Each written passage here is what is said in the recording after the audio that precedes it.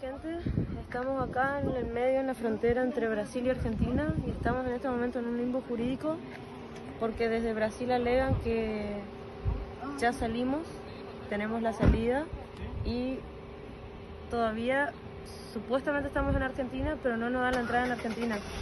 Entonces no podemos volver a pasar a Brasil y en Argentina no nos dejan entrar. Y ahora de manera humanitaria